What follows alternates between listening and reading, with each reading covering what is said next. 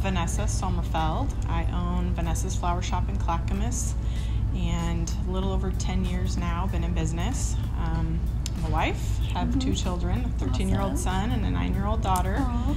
And it's a blessing to be able to work from home yeah. and be a part of their lives and work at the same time. And yeah. yeah. Well, what sets you apart from other florists in the area? I think working from home and being able to run a full business, Mm-hmm. um, doing the day to day deliveries for Kaiser Sunnyside, Get Well Soons. We have lots of baby arrangements, Mhm. uh, birthdays, anniversaries, and being able to fit weddings in on the side of all of that really. I can work around my schedule, but fit it all together at the same time. Yeah. What's your favorite part to do? I like the creativeness of designing Mhm. the flowers, just being able to go pick. Doesn't Yeah. matter what Yeah. the event's for. Yeah. Just creating it, and that that makes sense. Yeah, and, and you know, ninety percent of the time, I would say people just don't really care. They just pretty something pretty, Yeah. bright and pretty and colorful. So it's like okay, and I get to do my job. yeah, that's awesome.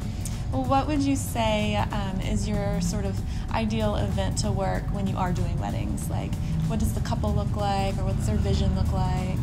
I like to see how different every wedding is. It's really cool to get to know the bride and the groom. Don't always meet the groom right away. Yeah. the bride usually has control of a lot of it.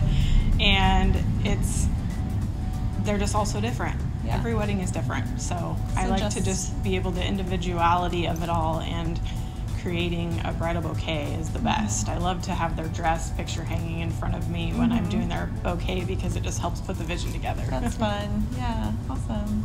If you had one tip for every couple when it comes to flowers um, for weddings, what would you want to tell them?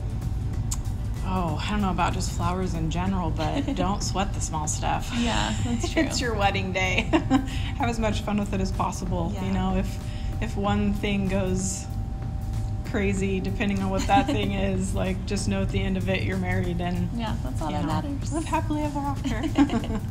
well, thanks so much for coming and being a Mhm. part of the shoot today. I'm so Yeah. excited to see everything. Mhm. The pieces of flowers I've seen so far looks amazing. yeah, so. thanks for having me. Yeah, of course.